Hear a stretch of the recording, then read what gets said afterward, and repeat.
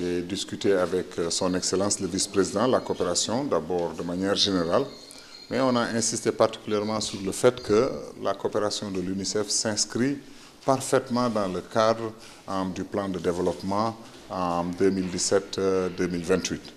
Et on est en collaboration aussi avec la famille des Nations Unies de manière générale, où on a aussi une parfaite cohérence avec les, la stratégie et le plan de coopération du système des Nations Unies. Particulièrement pour la réunion de ce matin, on a beaucoup insisté sur la malnutrition, et surtout la malnutrition chronique. Hein, vous savez que malheureusement, c'est quelque chose qui a une ampleur particulière dans le contexte du Burundi.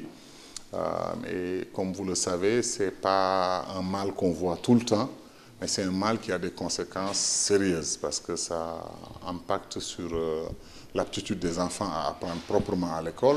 Et même quand on devient adulte, ça, ça peut impacter sur euh, la possibilité d'être productif.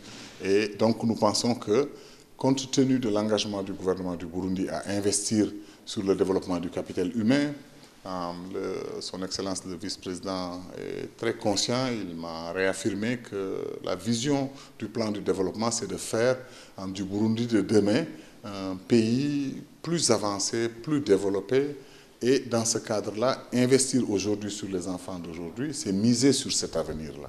Et je pense donc c'est pourquoi la nutrition a occupé cette place. Mais on n'a pas parlé que de nutrition, on a parlé aussi d'éducation, on a parlé des jeunes, on a parlé de la qualité surtout de l'éducation, que l'éducation, ce n'est pas seulement le fait de mettre des enfants à l'école, mais c'est de pouvoir leur donner à manger à travers des cantines scolaires pour soulager les parents.